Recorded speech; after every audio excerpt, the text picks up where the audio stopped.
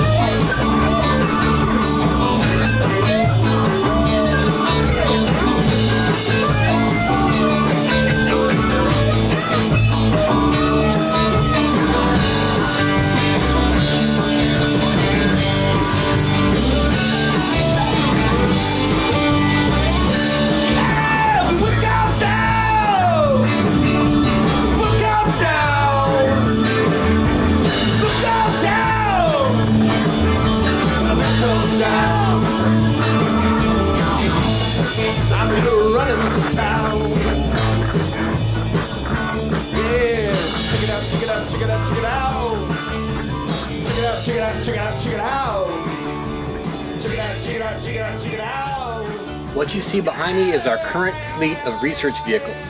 These Kawasaki mules allow us to do most of the research and conservation that we do on Wassaw. They help us patrol the beach seven miles all night long, all summer long.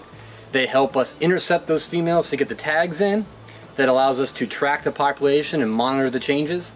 And they also allow us to bring our volunteers to the turtles. These things do most of the heavy lifting when it comes to our educational component because they get the volunteers to the turtles. They allow them to experience a nesting female or a hatchling boil. So these things are critical to what we do out here. Now, they're not spending time on some dry ranch somewhere. They're spending time on the beach in the saltwater. So they don't last as long as they normally would otherwise. We replace them about every four years, so we have about three or four, um, and we get one almost every year. They incur plenty of flat tires and occasional damage here and there, and lots of rust damage. Uh, they also take quite a lot of gas to run. So one of the main expenditures in terms of the turtle research and conservation we do on Wassaw has to do with these vehicles. So it's really critical that we keep them up and running, we keep new ones coming in every few years, and we keep them gassed up to get the researchers and the volunteers to the turtles. But I try, try, try, hold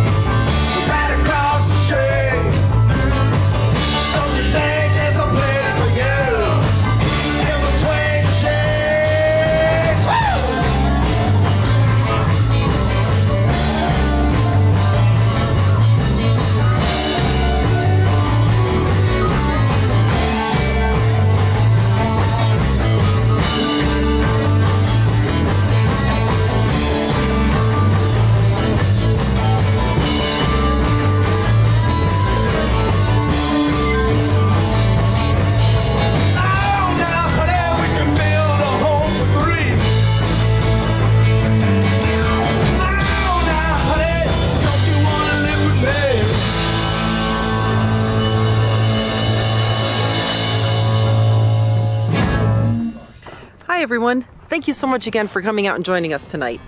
In addition to research and conservation, the other main goal of the project is education. Each year throughout the summer, we invite participants from the public out to Wassaw for full weekly sessions where they get a hands on experience in protecting sea turtles. We teach people how to accurately record data, how to protect nests, all while teaching them about issues that affect sea turtles. One thing that we've learned is that there's no such thing as a typical volunteer. Ages have ranged from 14 to 80. We get students, retirees, and everyone in between. The common thread is that they all care. They all want to help save sea turtles. Now, the living and working conditions out on Wassaw can be pretty rough sometimes, but once the volunteers see their first turtle coming out of the water and laying her eggs, or that first batch of hatchlings emerging from the sand and racing to the ocean, that makes it all worthwhile. For some people, this experience fills them with such passion that they return to Wassaw year after year to participate. Knowing that they themselves have participated and contributed to the recovery of a species, they return to their hometowns filled with the knowledge and experience to be ambassadors for the world sea turtles. Our hope is that each volunteer leaves the island as a more engaged and more informed citizen, not only in issues regarding sea turtle conservation, but also in the role that science plays in the protection of the world's oceans. We want to send a heartfelt thank you out there to our past and future volunteers, and we hope to see you on Wassaw soon. Thank you.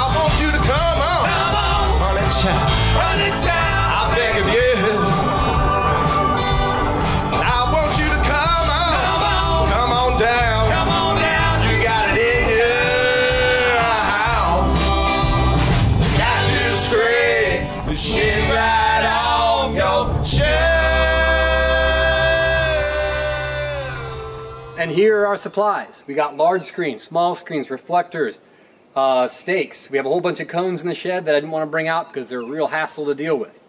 Um, it looks like we have a lot here.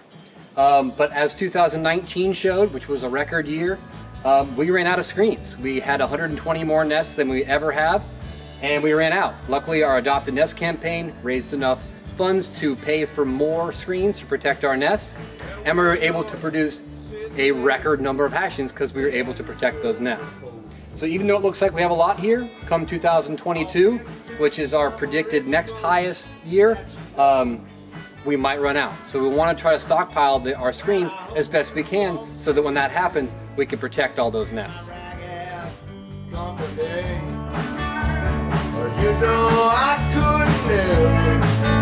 you know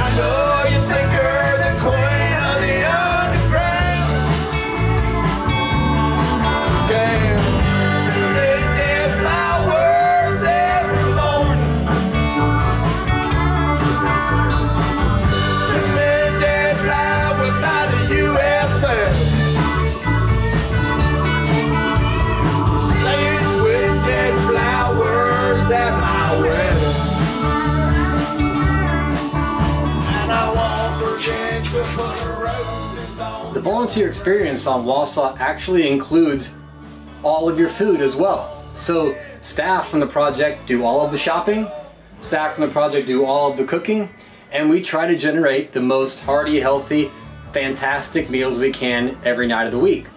Usually people come out here thinking they're gonna get rice and beans all week, but we try our best to make pretty good meals. You can tell that the conditions out here in Wassaw are pretty rustic. Propane stove, propane fridge, artesian well, solar power energy. Um, but it's part of the experience. It's part of living in the heart of coastal Georgia in a tiny little shack. And people come back year after year. It doesn't scare people away. And we embrace the idea that people want to push their limits a little bit to save turtles and experience science. I'm so distracted. Ain't had a thing all week. I'm feeling drunk, y'all. Yeah, yeah, juiced up and sobbing.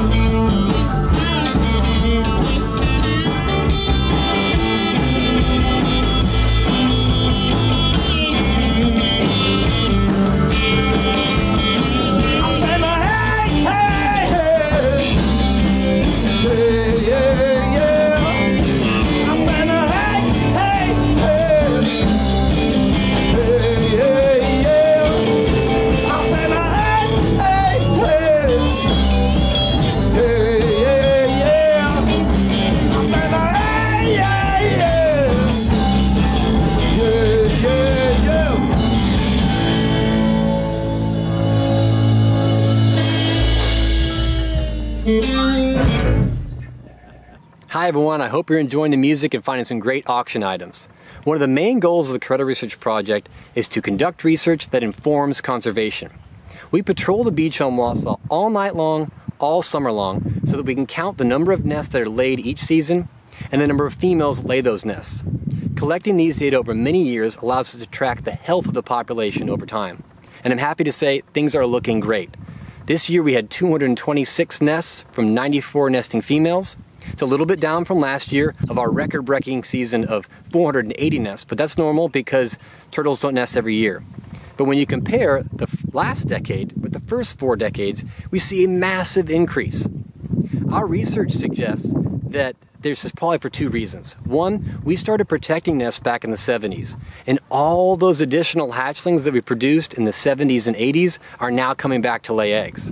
Secondly, data from the Caretta Research Project was used to help develop a turtle excluder device for the shrimping industry. Turtles were dying in the shrimp trawlers, and our data allowed engineers to develop the turtle excluder device so that turtles could get out and then eventually come back and breed. Collecting these kind of rigorous long term data allows us to generate scientifically grounded results that can be applied to sea turtle conservation not only regionally, but also internationally. Thanks for listening to my research update. Now back to the show. Are you having a good time? This one's for the ladies. Ah, honey, you know what I'm saying, too.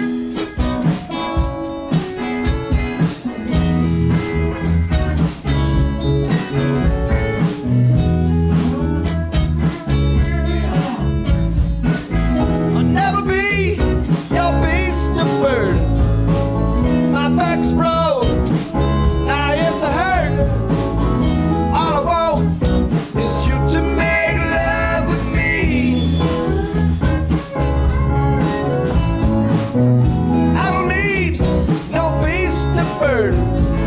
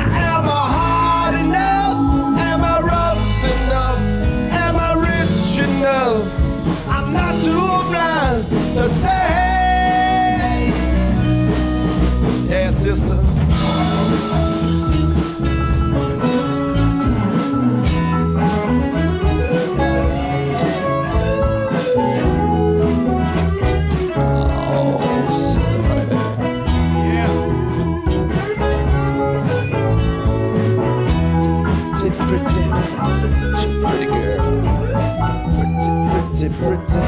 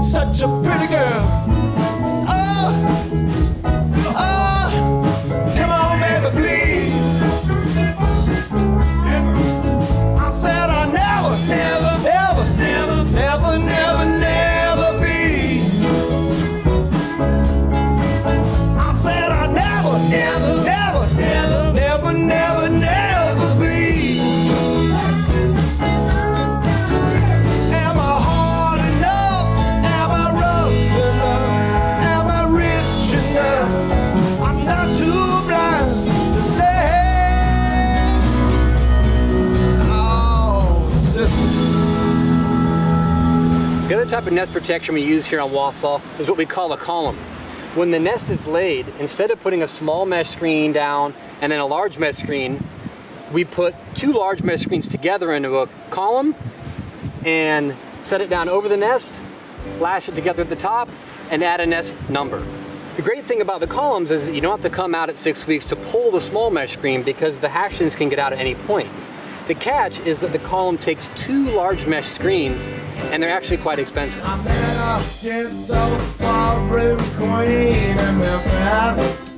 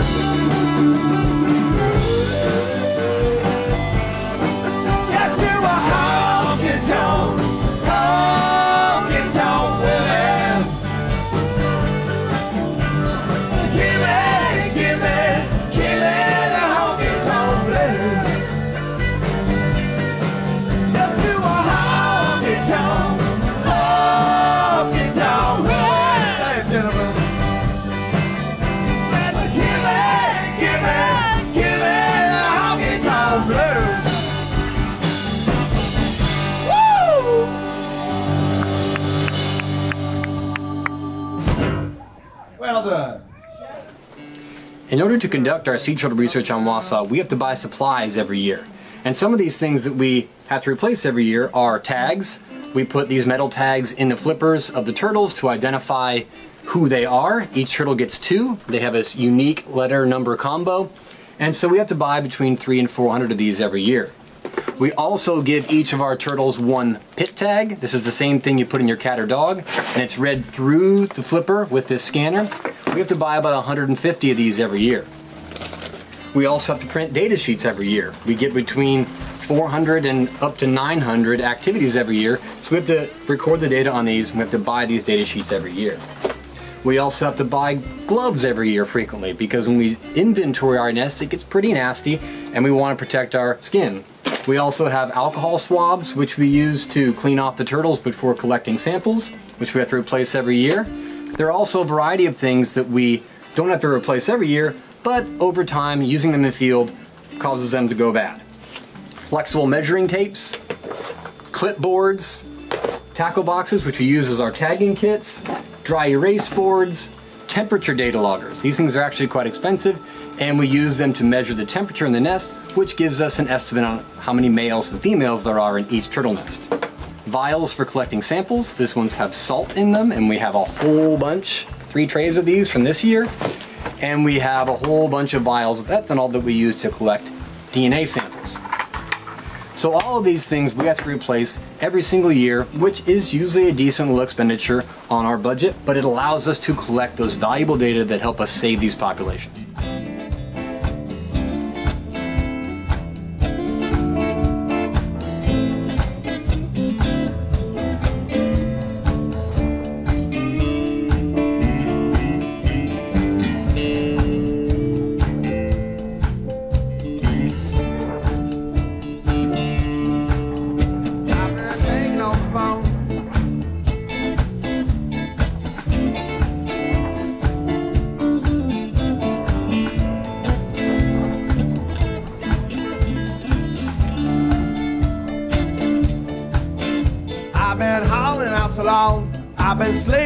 Alone. Lord, I miss you. I've been waiting on the phone, waiting in the hall. I wanna kiss you. Time to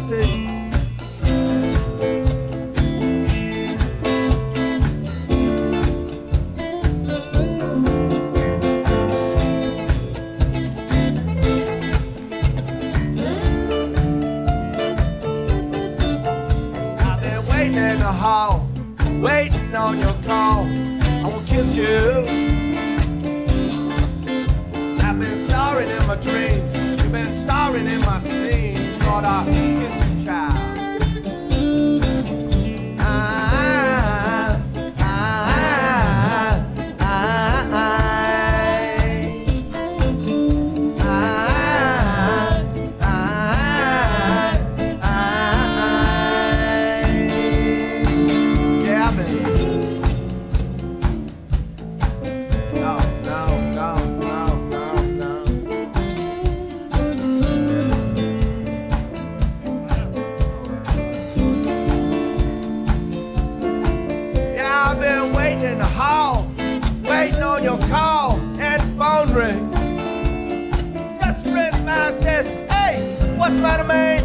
gonna come round at 12 with some Puerto Rican Sudan to meet you. We gonna bring a case of wine.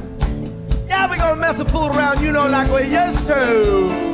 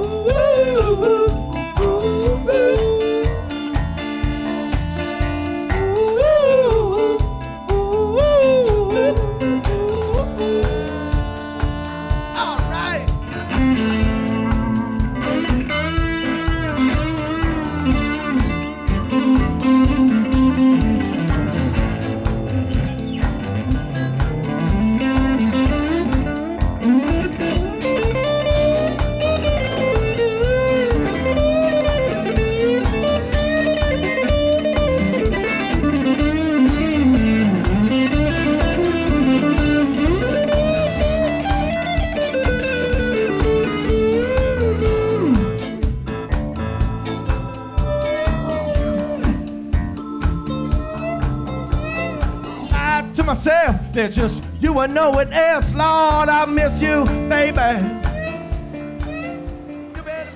Hi everyone, welcome to our sea turtle research cabin in the heart of the Wassaw National Wildlife Refuge. I know it doesn't look like much, it's small, it's a little bit wet from today's rain, and it's certainly not air conditioned. But for the last 48 nesting seasons, this cabin has served as the home for the Caretta Research Project on Wassaw Island. It's a place where we conduct our research from, and it's a place where we host intrepid groups of volunteers who come out to see the turtles and help us do the research. It's our research cabin, but it's so much more. It's also where we cook. It acts as a Starbucks sometimes. It's where we feed our volunteers. It's where we entertain our volunteers. So it's really important to the satisfying the role that Caretta Research Project plays. This cabin is part of a private family compound and we rent it from that family. But it's totally worth it because it, this cabin gives us access to the beach. It gives us access to the turtles and it allows us to foster the experiences with our volunteers that help us satisfy our mission to save turtles in the Northwest Atlantic and the world.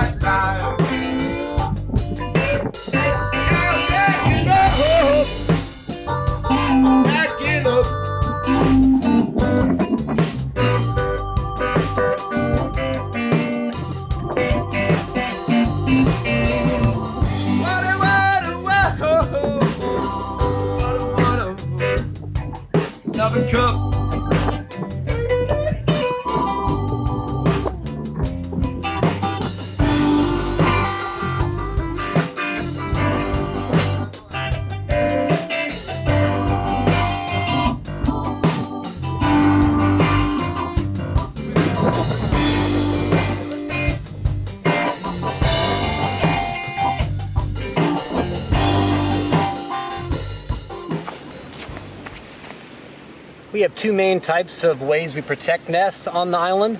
Um, this is one of them, and we do it most often because it uses the least amount of material. When a nest is laid, the night it's laid, we'll add a small mesh screen here on top of the nest, which is right here, and put a large mesh screen on top, add a reflector and a number, and then leave it be. Um, and then after 42 days of incubation, about six weeks, um, we come out to pull this small, small mesh screen and put a cone on. This cone will allow the hatchlings to get out, but it'll keep the raccoons and foxes out of the nest. so